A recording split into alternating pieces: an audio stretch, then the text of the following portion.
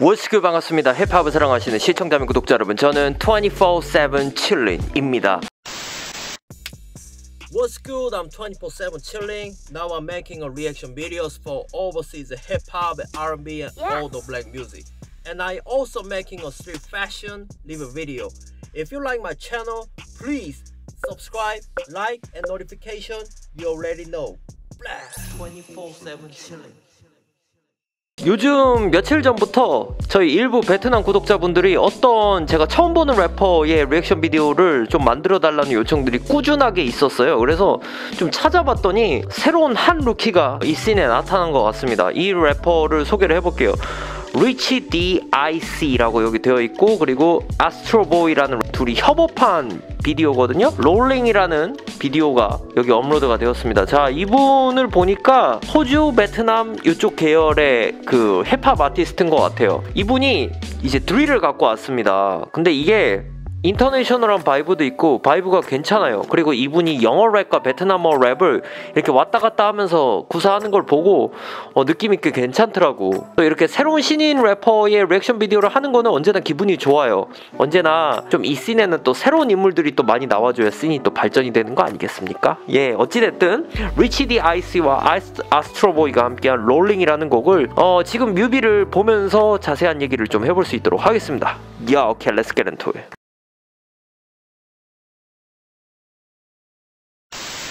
Yup, are you enjoying watching my video? Have you still not subscribed to my channel?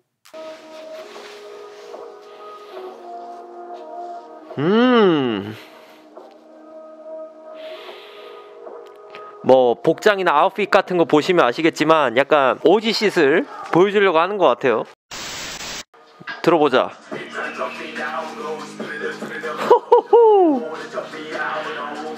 야.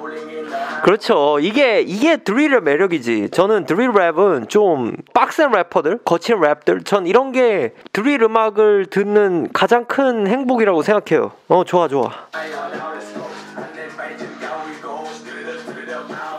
뜨르르 파우 파우 하는 구절이 되게 인상적이다.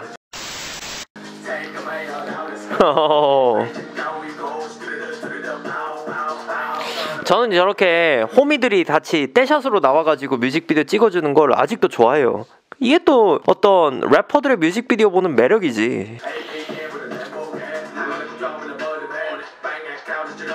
어... 오랜만에 좀 터프한 상남자 같은 뮤직비디오 봐서 그런지 기분이 좋다. 시원해요, 시원해.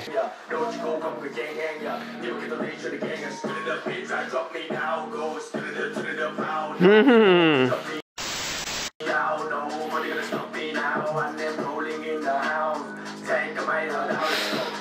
이 래퍼는 제 인스타그램을 보니까 호주에서 활동하는 래퍼인가 아니면 호주에 있다가 베트남에 온 래퍼인가요? 사실 지금 뮤직비디오 올라간 지 며칠 안 됐는데 지금 12만 view를 돌파했거든요. 이게 루키의 뮤직비디오 치고는 조회수가 높단 말이지.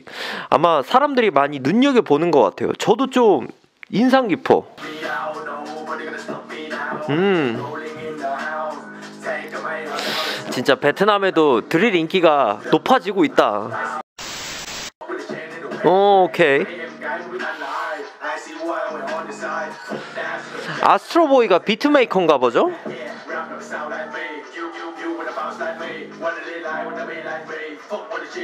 이 래퍼는 랩 녹음을 한번 한 다음에 거기다가 다시 재녹음을 하는 것 같아. 랩 verse를 들을 때 좀 그게 특이한 점 같아요.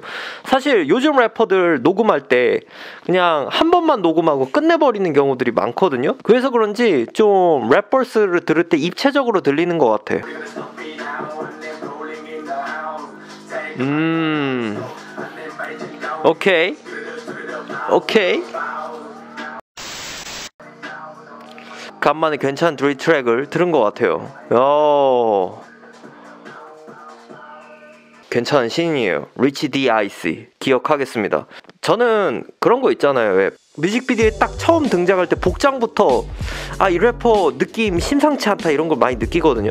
저는 래퍼들의 아웃핏을 왜 중요시하게 생각을 하냐면 얼마나 이 래퍼가 originality를 얼마나 알고 있고 그거를 자기 것으로 얼마나 습득하고 있는지를 좀 많이 보는 편이에요. 저는 그거에 또 가치가 있다고 생각을 하고 여러분들이 보시기에는 그냥 평범하게 보이실 수 있어요. 그냥 white 에어포스 원에 그냥 청바지 내려 입고 뭐 구찌 벨트에 셔츠 같은 거 입고 이런 거는 이제 어떻게 보면은 그러니까 미국의 본토 originality의 vibe를 이런 아웃핏으로 보여주면서 originality를 자신만의 것으로 해석한 이 드리 트랙을 이렇게 내놓는 걸 보면 감각이 있는 래퍼인 것 같고 vibe를 좀 잘 알고 있는 래퍼라고 생각이 돼요. 드릴이라는 게 워낙 여러 가지 스타일로 또 나눠져 있잖아요. 진짜 제가 말씀드린 뭐 영국 영국식 UK 스타일의 드릴이 있고 또 미국식 스타일의 드릴이 있잖아요. 굳이 이거는 표현하자면 미국식에 가까운데 어찌 됐든 드릴 랩의 그 속성은 래퍼들의 속성은 그래도 상당히 많은 래퍼들이 거칠고 좀 터프한 랩들을 많이 뱉는 편이라서